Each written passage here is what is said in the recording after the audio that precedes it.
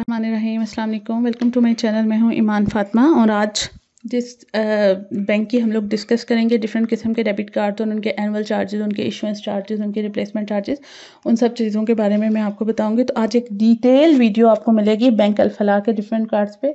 अगर आपने मेरी एटीएम कार्ड वाली वीडियो देखी हो तो आपने देखा होगा कि बैंक अलफला जो है वो बहुत तरह के कार्ड्स जो हैं वो इशू कर रहा है।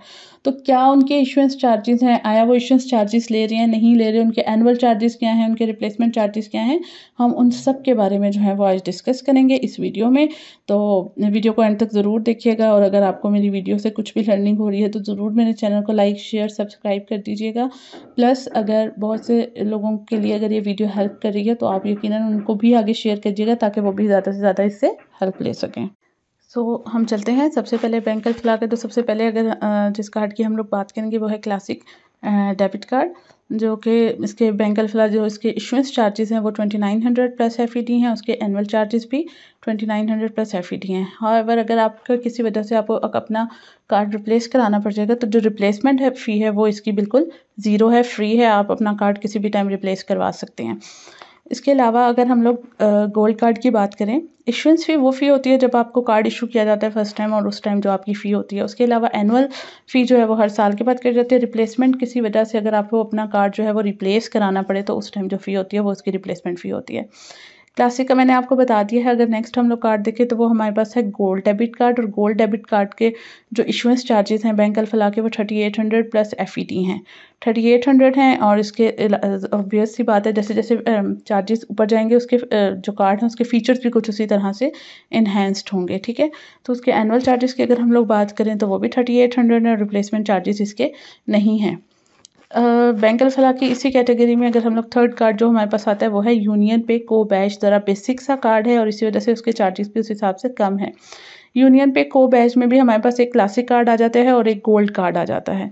जो हमारे पास क्लासिक कार्ड है, उसके issuance charges twenty three hundred plus F E D हो जाएँगे एनुअल चार्जेस भी इतने ही होंगे।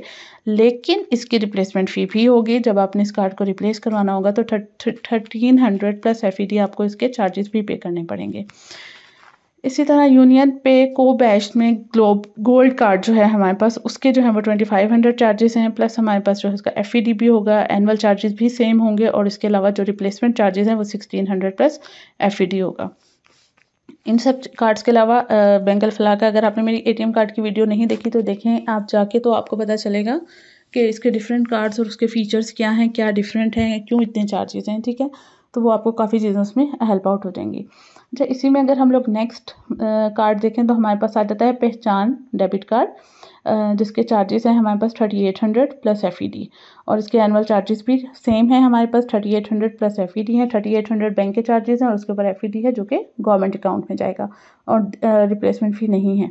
इसी तरह प्लाटिनम है प्लाटिनम में भी हमारे पास seven thousand plus F E D charges हैं और उसकी एनुअल फ़ी भी seven thousand plus F E D है।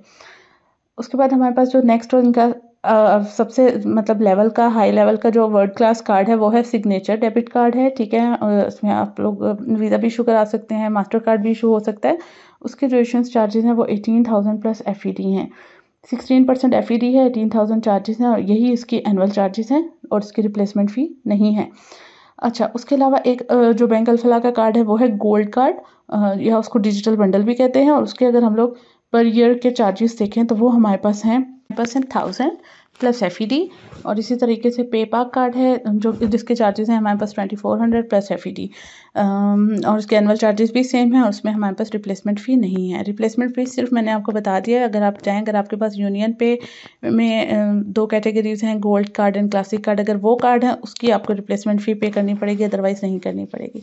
इसी तरह बेंगल अल्फला जो है वो फॉरेन करेंसी में भी आपको डेबिट कार्ड इशू कर रहा है, जो कि है यूएस डॉलर में। और अगर आपने वो कार्ड जो है वो इशू कराना है या उसके जो एनुअल चार्जेस हैं, वो फिफ्टीन डॉलर्स हैं। प्लस उस पर एफ़ होगा, जबकि रिप्लेसमेंट चार्जेस जो हैं वो उसके सिर्फ़ और सिर्फ़ फाइव डॉलर्स हैं, लेकिन रिप्लेसमेंट फ़ी एग्जिस्ट कर रही है। अच्छा इसके अलावा गोल्ड रोशन डिजिटल अकाउंट्स पे भी बैंक अल्फला जो है वो दो तरह के कार्ड इशू कर रहा है, जिसमें एक गोल्ड कार्ड है और एक सिग्नेचर कार्ड है। अगर आप गोल्ड कार्ड जो है वो इशू कराएँगे तो उसकी इशुएंस फ़ी जो है वो बिल्कुल फ्री है। ये कार्ड रोशन डिजिटल अकाउंट पे जो आपको इशू हो रहा होगा। लेकिन उसकी जो एनुअल चार्जेस हैं वो thirty eight hundred plus F E D हैं। सिमिलरली अगर आप सिग्नेचर कार्ड इशू करते हैं रोशन डिजिटल अकाउंट पे तो उसकी इशुएंस फ़ी जो है वो डेफिनेटली वो लेंगे, जो कि अठारह हज़ार eighteen thousand plus F E D है। उसकी इशुएंस फ़ी फ्री नहीं है।